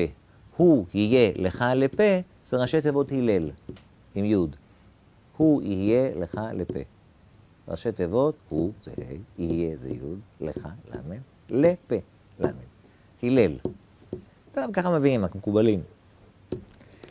גם עם רמזים. טוב. עומר אחי, בשם רבי יוסי בר חנינא. זה ילקוט שמעוני אני קורא לכם. בשעה שעלה משה למרום, שמע קולו של הקדוש ברוך הוא שיושב ועוסק בפרשת פרה. מתי הוא עלה? לקבל תורה. אז הוא שמע את הבירו אלוהים יושב ולומד פורה אדומו. ואומר, הקדוש ברוך הוא, אליעזר בני אומר, פרה בת שתיים ועגלה בת שנתה. זה משנה, זה המשנה הראשונה במסכת פרה. אמר משה לפני הקודש ברוך הוא, ריבונו של עולם, העליונים והתחתוניים ברשותך, ואתה יושב ואומר הלכה משמו של בשר ודם? אליעזר זה רב אליעזר בן אורקנוס. גם מסכת ברכות, המשנה הראשונה שמתח... אה, במסכת ברכות, היא פותחת את, החמישה, את השישה סדרי משנה. התנא הראשון שמוזכר בשם זה רב אליעזר, רב אליעזר בן אורקנוס. זה גם התנא האחרון שמוזכר בשם במשנה האחרונה של השישה סדרי משנה. רב אליעזר בן אורקנוס, רב אליעזר הגדול, ככה הוא נקרא. אמר לו הקדוש ברוך הוא, משה, עתיד צדיק אחד לעמוד בעולמי, ועתיד לפתוח פרשת פר, פרה תחילה. רבי אליעזר אומר, פרה בת שתיים. משה רבינו אומר לקדוש ברוך הוא, לא מבין. אתה, אתה אומר הלכה בשם בשר ודם, הכל ה... אז אמר לו, משה, תדע לך. תדע להמר, משניות, להיכתב.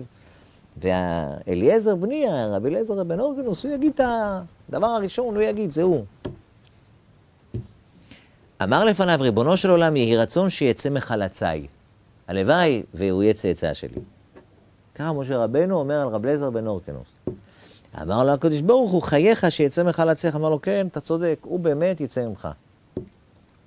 זהו שכתוב בשם האחד אליעזר, ושם אותו המיוחד אליעזר. אליעזר, אליעזר בן אורקנוס, זה הצאצא של משה רבינו. רב אליעזר בן אורקנוס נקרא רב אליעזר שמותי. והירושלמי אומר, למה הוא נקרא שמותי? כי הוא היה מתלמידי שמאי. משה רבינו, שמאי, רבי אליעזר הגדול, בית בית שמאי. תחבר. טוב. אז אנחנו יודעים שבית שמאי ומשה רבינו זה אותו עניין.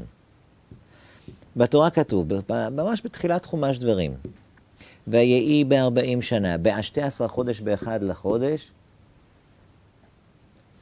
הואיל משה באר את התורה הזאת. חומש דברים, משה מפי עצמו אמרם, ככה כתוב בחז"ל. ואלה הדברים אשר דיבר משה אל כל ישראל בעבר הירדן בערב העבר. מתי זה היה חומש דברים? ויהי בארבעים שנה, באשתי עשרה חודש באחד לחודש. אשתי עשר זה לא שתים עשרה, אלא זה אחד עשרה. תרי עשר זה שתים עשרה. אשתי עשר זה אחד עשרה, בלשון התורה. בחודש האחד עשרה. אז בואו נספור. ניסן, אייר, סיוון, תמוז, אב, אלול, תשרי, חשוון, כסלו, טבת, שבט. חודש ה-11 זה חודש שבט. אז ב-12 חודש באחד לחודש, בחודש ה-11, חודש שבט, באחד לחודש, באלף חודש שבט, הואיל משה בארץ התורה. אז משה רבנו התחיל להגיד כל התורה שהוא אומר. א' שבט. כמו מי זה? זה כדברי בית שמאי. באלף בשבט ראש השנה לאילנות, כדברי בית שמאי. מי היה כדברי בית שמאי? מוישה רבינו. באלף בשבט כתוב שהוא התחיל להגיד את התורה של עד אז, וידבר השם למשה לאמור. השם אומר לו, לאמור להם. השם אומר, משה אומר. פה משה רבנו מתחיל לדבר מעצמו. א' שבט, כדברי בית שמאי, זה לשון המשנה. כדברי בית שמאי. משה רבנו זה כמו בית שמאי, טוב. אומר המדרש, הרי משה, עד שלא זכה לתורה כתיב בו, לא איש דברים אנוכי. משה רבנו, שבוע שלם, הקדוש ברוך הוא אומר לו, לך תשחרר את עם ישראל. שלח את עם, לך, תגיד. אומר משה, לא איש דברים אנוכי, גם אתמול, גם משלשום, גם מאז דברך את עבדיך. כי כבד, כי כבד פה וכבד לשון אנוכי. אני גם גמל, לא יודע לדבר, אני לא, לא יודע לדבר. לא יודע לדבר. בסוף מגיע חומש דברים, חומש שלם, משה מפי עצמו אמרם. דרשה ארוכה, לא גומר. וזו דרשה שאפשר גם אי אפשר, זה בלי סוף גם לדבר על הדרשה הזו. מה הוא אמר כל כך הרבה? דיבר ודיבר ודיבר, אבל הוא אמר שהוא לא יודע לדבר. הוא יודע לדבר או לא יודע לדבר? אומר המדרש, עד שהוא לא קיבל תורה, עד שלא זכה לתורה כתיב בו, לא איש דברים אנוכי, הוא אמר את האמת, אני לא איש דברים. כיוון שזכה לתורה נתרפא לשונו והתחיל לדבר דברים, מניין? מאיפה אתה יודע את זה? ממה שקראנו בעניין אלה הדברים אשר דיבר משה, התחיל לדבר. אז זה לא רק שהוא הפסיק לגמגם, זה הרבה יותר עמוק מזה. טוב. מה כתוב כאן? כי האדם עץ השדה. זה לא שיר, זה פסוק. כי האדם עץ השדה. אדם נמשל לעץ. כי כימי העץ ימי עמי. כל הסיפור של הבריאה פה זה סיפור של עצים. עצים, עץ. האדם הוא עץ השדה. מה זה עץ? מה המאפיין המיוחד בעץ? הקדוש ברוך הוא בורא עצים כדי שיוציאו פירות. העץ, לוקחים גרעין, שמים אותו בתוך האדמה, והגרעין יודע בצורה מופלאה לשאוב את כל החומר שיש באדמה ולשעבד אותו למטרת הבריאה שלו, שהיא להוציא פירות. ואז הגרעין מתחיל להוציא שורשים. אחר כך הוא מתחיל להוציא גבעול, מהגבעול נהיה גזע. ואז הוא צריך גם כן לקבל פחמן, הוא מוציא עלים, כן? ואז תהליך של פוטוסינתזה. הוא משעבד את כל הבריאה. את הפחמן הופך לחמצן. בלילה שאין אה, אין, אה, תאורה, אז הוא לוקח חמצן ומוציא פחמן. זה פלאי פלאו מה שהוא עושה, העץ הזה. מהאדמה שואב את הכל, מהאוויר, מהאור, את הכל הוא שואב. הכל למה? להוציא פרי. הוא לוקח את כל החומר של הבריאה ועושה ממנו צורה. נותן לה תכלית, כדי להוציא פירות. מי אמר לך לעשות את זה? בשביל זה ברור העולם ברא אותו. פסוקים. והייתה השם אלוקים גן בעדן מקדם, וישם שם את האדם אשר יצר, ויצמח השם אלוקים מן האדמה כל עץ נחמד למראה וטוב למאכל, ועץ החיים בתוך הגן, ועץ הדעת טוב ורע. העץ הוא בעצם זה דבר שיודע לקחת את כל מה שמסביב ולהוציא פרי. האדם הוא עץ השדה. אדם זה עץ. אדם הוא חי פה כדי לעשות פירות. לקחת את כל מה שיש מסביב לנו, כדי לעשות פירות. השאלה מה זה הפירות? מצרים המציאו פרי. עשו, עשו דברים. כל תרבות לאורך ההיסטוריה ממציאה פירות. כל אחד מאיתנו, הוא לוקח את המשאב היקר הזה שנקרא זמן, ואת הגוף שלו, שזה דבר יקר שנקרא גוף, שזה לא שלו, הוא קיבל אותו מתנה, והוא עושה פירות. איזה פירות? לפעמים מה שהשם רוצה, ולפעמים מה שהשם לא רוצה. לפעמים לא מה שהשם רוצה ולא מה שהוא לא רוצה. כן, יש מצווה, יש עבירה, ויש דבר שהוא לא מצווה ולא עבירה. לא אסור, גם לא, ולא חובה לעשות את זה. מותר, אתה רוצה, תעשה. וכולנו עושים פירות. כל החיים שלנו אנחנו עושים פירות. לוקחים כל מה ש... כמו עץ. לוקחים את כל מה שמסוים ועושים פירות. השאלה איזה פירות. אמר רבי ירמיה לרב זיירא, יבוא מר וילמד. זה, אני, זה, כאילו, אני תרגמתי את זה מה, מהארמית, זה לא מוצלח כל כך, אבל זה... רב זיירא אמר, רבי ירמיה אמר לרב זיירא, תגיד משהו, תגיד דבר תורה. אמר לו חולה שליבי, אני לא, אמר לו, אני, אני לא מרגיש טוב, חלש, קשה לי. אז אמר לו, אז תגיד מה דברי אגדה. אמר לו, כך אמר רבי יוחנן, מהו שכתוב כי האדם עץ השדה? וכי האדם עץ השדה הוא? מה, האדם זה עץ? לא יודע, אדם שלא מתפקד קוראים לו צמח. וזה לא סימפטי. מה זה עץ השדה? אלא, אמר רבי יוחנן, משום שכתוב כי ממנו תאכל ואותו לא תכרות. מצד שני כתוב, אותו תשחית וקראת על עץ שתי פסוקים. כי האדם עץ השדה, אותו תאכל, אבל לא תשחית. אסור להשחית עצים. אסור, אסור סתם לגדוע עצים. מצד שני, יש פסוק בתורה שכתוב על העץ, אותו תשחית וקראת, תכרות אותו. אז, אז להשחית אותו או לא להשחית אותו? מה עושים עם עצים? אם תלמיד חכם הגון הוא, ממנו תאכל ואותו לא תכרות. ואם לאו, אותו תשחית וקראת. אם לא, אין מה לעשות עם הבן אדם הזה. אין מה לעשות עם הבן אדם הזה. אדם זה עץ. השאלה אם זה אדם שכמו עץ יודע לקחת את כל מה שצריך כדי לעשות מה שצריך, או שהוא לוקח את כל מה שצריך ועושה את מה שלא צריך. האדם הוא עץ השדה, האדם זה עץ. יש עצים שהלוואי ויגדלו ויפרחו וילבלבו ויצליחו ויעשו פרי. ויש בני אדם שאין מה לעשות איתם. הם לא עושים מה שצריך לעשות. ולכן כל הבריאה, האדם הראשון, איפה, איפה שמו אותו? והייתה השם אלוקים גן בעדן מקדם, ויש שם עצים. שם שמים את האדם. הוא עץ השדה. עץ שעושה פירות. אלו דברים שאדם אוכל פירותיהם בעולם הזה, והקרן קיימת לעולם הבא. הקרן זה הגזע. בעץ אתה אוכל את הפרי, והעץ נשאר, מוציא עוד פירות ועוד פירות ועוד פירות. אלו דברים שאדם אוכל פירותיהם בעולם הזה, והקרן קיימת לעולם הבא. אומר, אתה אוכל, אתה נהנה, אבל אתה לא מוריד לך מהשכר, כי העץ נשאר, ממשיך לעשות פירות, אל תדאג. המשל הוא עצים, עצים ופירות. הכל זה עצים ופירות. האדם זה עץ השדה. אדם שהוא מושלם, כן, הוא גם יש לו את התורי זהב וגם את נקודות הכסף. הוא גם יודע להיות חומר פשוט, בלי שום צורה, בלי שום מאפיין. פשוט הוא מתבטל לצורה שבורא עולם רוצה. לתורי זהב האמיתיים, לזהב האמיתי, את זהב, תן לי את התורה. אני מלביש על עצמי את התורה, אני חומר להלביש, הוא עץ אמיתי. נוצר תאנה, יאכל פריה, הוא יזכה.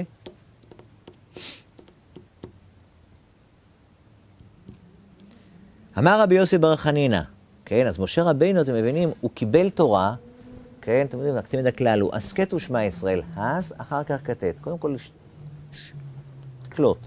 הוא מקבל תורה, ועכשיו הוא מתחיל לעשות פירות, זה משה רבינו. מתי? בגיל 120 באלף בשבט, כדברי בית שמאי. זה ראש השנה לאילנות. האילנות הם עד א' שבט, ככה חז"ל אומרים, רוב גשמי שנה כבר ירדו. הארץ כבר מדושנת, כבר קיבלה את כל החומר שהיא צריכה. כל התהליכים. העץ כבר התחיל, לקב... כבר קיבל את כל מה האנרגיה שהוא צריך לקחת עכשיו בשביל שנה שלמה, העץ כבר קיבל אותה. אז הוא מתחיל מעלה שרף, הוא מתחיל ללבלב. בתקופה הזאת העצים מתחילים ללבלב, מתחילים לעשות את הגדילה שלהם. העצים בתרדמת בחורף.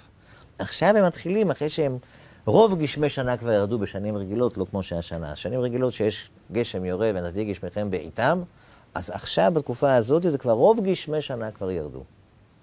אז העץ קיבל את כל מה שהוא קיבל, הוא מתחיל עכשיו לפרוח, ללבלב. זה ראש השנה לאילן. משה רבינו הואיל באר את התורה הזאת, מתי? באלף בשבט. כדברי בית שמאי. כדברי בית שמאי. אנחנו להלכה קיים אלן כבית הלל. ט"ו בשבט. כמו, אנחנו הולכים תמיד לפי הלבנה, כשהלבנה במילואה זה עיקרו של החודש, כמו חג הסוכות, חג הפסח, תמיד זה באמצע החודש, זה תוקפה של ה... אז זה היום הגדול. אז אנחנו עושים את זה, בית שמאי, זה עוד לפני כן, כבר באלף, במולד כבר יש להם את הכוח הזה. לבית הלל, ככה קרא מלאכה, אנחנו עושים בט"ו בשבט, לא באלף. משה רבנו, א' בשבט. הוא כבר עץ עושה פרי, מתחיל לעשות פירות. מיציאת מצרים, כן, התורי זהב עם נקודות הכסף, זה בעצם כל מה שעם ישראל ספג, זה הביזה, ביזת מצרים וביזת הים. כל מה שהוא ספג, עכשיו קח את זה ותעשה פרי. האדם הוא עץ השדה. אבל תעשה את הפרי הנכון. לא כמו שמצרים לקחו את זה למקומות הלא נכונים. קח את זה, ממש, מה שיש. גוי מקרב גוי. אתם, מצ... אתם הייתם בתוך מצרים, ספוגים. תיקחו את כל מה שיש להם להציע, אבל תיקחו את זה לדבר הנכון. ט"ו בשבט תמיד נופל לנו ב... בשלח יתרו, תמיד זה האזור הזה, זה הפרשיות, זה מאיר את השבוע הזה. אומר רבי יוסף בר חנינא, אם טמא אתה על הדבר למד מן המן.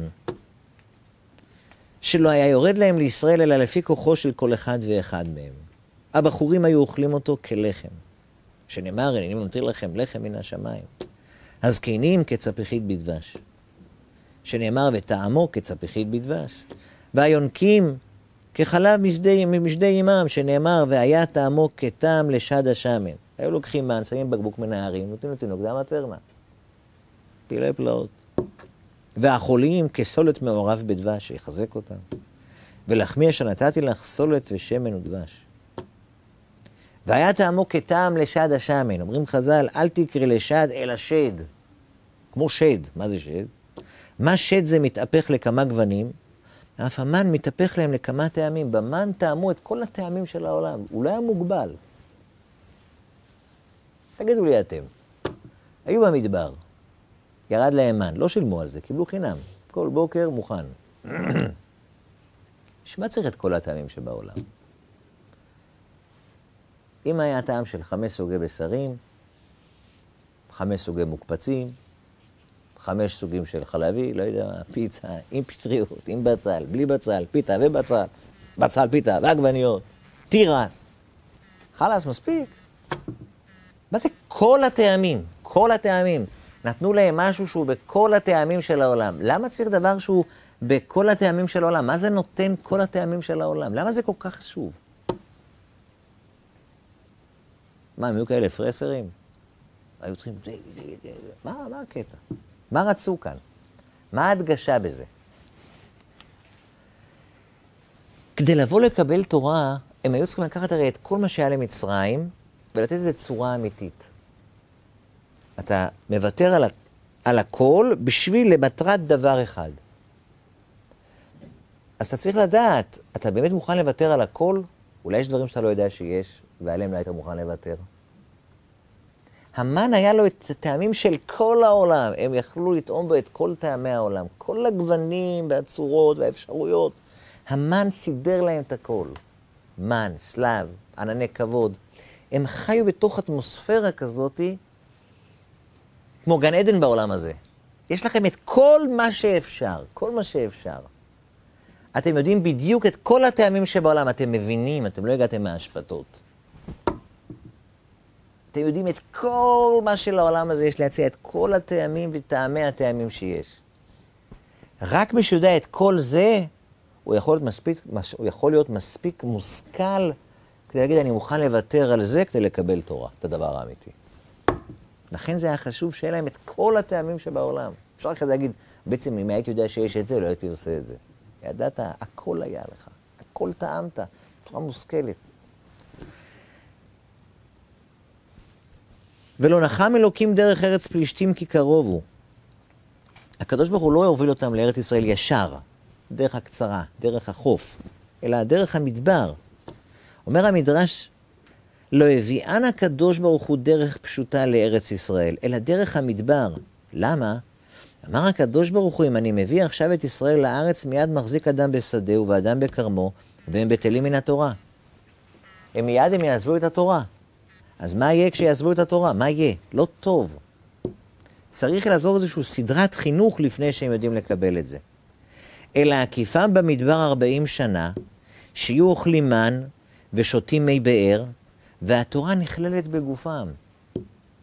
מכאן היה רבי שמעון אומר, איזה רבי שמעון? זה רשב"י. מירון.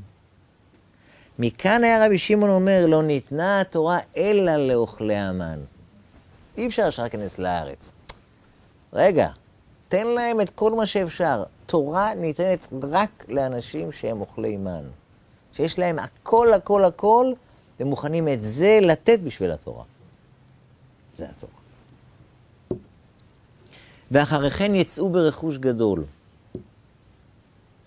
הפסוק הזה נאמר אחרי אימה, חשיכה הגדולה, נופלת עליו, וחז"ל אומרים, אימה זו בבל, חשיכה זו מדי, גדולה זו יוון, נופלת עליו זו מלכות אדום. אברהם אבינו שמה שהוא, בברית בין הבתרים זה לא רק מצרים, ועבדום ובנים 400 שנה זה במצרים, אבל לא רק זה, פה הוא גם גילו לו את כל מה שהולך, כל ההיסטוריה של בניו, את כל ההיסטוריה נמצאת פה. בבל, פרס ומדי, יוון, אדום. וגם את הגוי אשר יעבודו דן אנוכי, מובטחים, ועלו מושים בהר ציון. אל תהיה, שפוט את הר עשיו, יהיה. אבל יש הבטחה אחרי זה. ואחרי כן יצאו ברכוש גדול. אנחנו לא מחפשים את הכסף שלהם, אלא מכל דבר שהם, כל תרבות שעם ישראל עובר דרכה, לתרבות הזאת יש מה להציע. לא מה להציע מה להיות, אלא מה להציע מה לא להיות. מצרים זה היה בניין אב. במצרים כלולים כל ארבעת המלכויות. כדי לקבל תורה צריכים לעבור את מצרים ולעבור את כל הדבר הזה. משם והלאה, הדבר מסור לנו עכשיו. לעבור את מצרים, אבל לאט לאט, טיפין טיפין, זה ארבעת המלכויות. ולבד. זה ארבעת המלכויות שנעבור אותן. אימה הגדולה, חש... אימה וחשיכה הגדולה נופלת עליו. וכל זה למה? כדי שאחרי כן נצא ברכוש גדול. את פני משיח נקבל מוכנים. איך נהיה מוכנים? כי מכל תרבות שהיא חווה את העולם בצורה המיוחדת לה, היא לוקחת דבר שהוא נכון, כי היא הופכת אותו לצד הלא נכון. קח את זה ותלמד מזה איך כן לעשות נכון. אנחנו מובטחים ואחרי כן יצאו ברכוש גדול, לא רכוש רב, רכוש גדול. דעה חסרת, מה קנית? דעה קנית, מה חסרת? יש לך הכל. רכוש גדול. אתה... הברייתא אומרת, מביאים את זה בהגדה של פסח, בכל דור ודור חייב אדם לראות את עצמו כאילו הוא יצא ממצרים. די, יצאו במצרים, מספיק. חפרו עם המצרים הזה בלי סוף. זכר יציאת מצרים. ראש השנה בסידור, זכר יציאת מצרים. יום כיפור, זכר יציאת מצרים. סוכות, זכר יציאת מצרים. אולי מספיק? עשינו ליל הסדר, לא מספיק? לילה שלם. כל החיים זה זכר ליציאת מצרים. אנחנו יוצאים ממצרים. אנחנו צריכים את הרכוש הגדול. מצרים זה מצרים הגדול שהוא היה גדול ונורא, ושם הכל כלול. משם יצאו וקיבלו תורה, אבל הם הרסו את זה בעגל. אז עכשיו צריכים לצאת עם מצרים עוד הפעם. רק הפעם את מצרים נקבל בשיטת הסלאמי, לאט לאט, טיפין טיפין, לא מצרים אחד גדול, אלא זה מפוצל לארבעת המלכויות. במתן תורה, במכתב, מכתב אלוקים חרוט על הלוחות. אומרים חז"ל, אל תקריא חרוט אלא חירות, חירות משעבוד מלכויות. שבוע שעבר דיברנו על חירות מלאך המוות. אבל חז"ל באותו מקום אומרים, חירות משעבוד מלכויות. אין שעבוד מלכויות יותר, יצאנו ממצרים, לקחנו את כל מה שיש ועושים את זה נכון. בחטא העגל הרסו את הכל. הרסו את הכל, עכשיו צריכים עוד הפעם לעבור את זה, עוד הפעם, לצאת ממצרים בכל דור ודור. חייב אדם לראות, כאילו הוא יצא ממצרים. זה מה שאומרים לאברהם אבינו, יש 400 שנה, אבל דע לך שיש פה גם כן אימה, חשיכה גדולה נופלת עליו, זה יהיה אחר כך שידור חוזר של כל ההיסטוריה, יציאת מצרים. בכל דור ודור, כן? אנחנו רואים מה קורה סביבנו, זה לא בשביל שנלמד מה להיות, אלא כדי שנלמד מה לא להיות, לצאת מזה. זה הרכוש הגדול שיש לעולם להציע לנו. הרע הוא שימוש אדיר. תראה מה זה ותראה מה לא להיות. לא איך להיות, מה לא להיות. מכלל עליו אתה שומע את ההן. אם כן, אז זה עץ חיים היא למחזיקים בה. אז אתה עץ. אם אתה עץ, אתה עץ עושה פרי. אתה עץ עושה פרי, אתה שווה גן עדן. זה ט"ו בשבט. זה ט"ו בשבט. ט"ו בשבט זה לא פירות יבשים, יש כאלה דוכנים, כל הגוונים, כל הצורות, כל הצבעים, תשבע עין. לא, זה לא העניין. ט"ו בשבט זה בעצם, זה ראש השנה לאילן, זה ראש השנה שבו ראש, עכשיו מתחילים לעשות פרי. משה רבנו התחיל לבאר את התורה, התחיל לדבר בתקופה הזאת. מוישה רבינו. זה עניין, זה התנוצצות של האורות האלה. זה יום שבו בן אדם, כן, לא להיות שקוע ב... בפירות יבשים, אלא בפירות שהוא אמור לעשות. בפירות שהוא אמור לעשות. להיות מכוון, לקחת את הכל לדבר האמיתי. לדבר האמיתי, לא לשקוע בתוך הדבר. לעשות שולחן פירות מפה ועד אפריקה, ולברך על זה ועל זה ועל זה ועל זה, וכל הטעמים. זה מצרים פר אקסלנס. ממש מצרים. זה לא... זה לא העניין. מקובלים עשו תיקונים ביום הזה. תיקונים, אה, דברים. אם אתם מקובלים, תעשו. היום הזה, מה שלנו לדידן, זה הפרשיות שבוע. בשלח, יתרו. יציאת מצרים, מתן תורה. בהוציאך את העם ממצרים, תעבדון את האלוקים על העם הזה. אתה מקבל תורה, אתה הופך להיות עץ עושה פרי. עץ עושה פרי. אתה מתחיל להיות מכוון למטרה האמיתית של החיים. יש לך עם מה לעבוד.